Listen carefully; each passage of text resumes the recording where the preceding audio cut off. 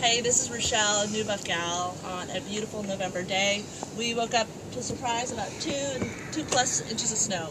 And, um, and I just wanted to, to talk to you today about my theme is, are you ready to quit? You gonna quit? Because this weekend I really felt like quitting because Sunday it was just kind of a busy, wonderful day, but I didn't get to exercise and I just kind of got overwhelmed. And then today it was like November day, it was cloudy, I'm sitting in front of the fireplace holding the baby. I'm like, well, why don't I just eat all winter? That would be more fun. No. But the sun came out. It's still kind of 35, 36 degrees, and um, I decided to. Uh, I had one of my trim shakes, and then I decided to go for a little jog, uh, run along the lake and up the hills here. It was really gorgeous. So I'm glad I kept going. So I just want to encourage you to keep going and whatever your goals are.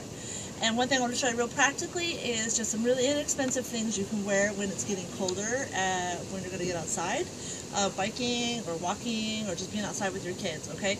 Um, just I've got this jacket and probably look at Marshalls and TJ Maxx. It's great. It's waterproof, really comfortable. I think an Under Armour it'd be about $150. I think I got it for like 30. Okay, so it's really lovely. Okay, and I've got uh, this nice shirt here, and then a Cuddl Dud under here. Okay, I think you can get those at Kohl's.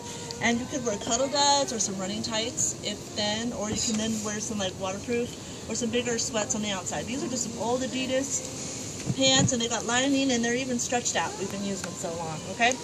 Uh, just got some ski mittens. They have black liner gloves in them and I use them when it's really cold. And then just a cheap scarf around your face and just a regular old knit cap. And it's got a little fleece lining to keep your ears warm, okay? So, and it's nice to kind of have the layers and then if you need to take your jacket off, take some things off, you have a pocket, you can kind of throw some things in there. All right, so it's just really worth it. So keep going. I want to show you, uh, we're losing the leaves. We have a teeny, teeny tiny view of Lake Michigan over there. So awesome, huh? So get a lean body and have a lovely life.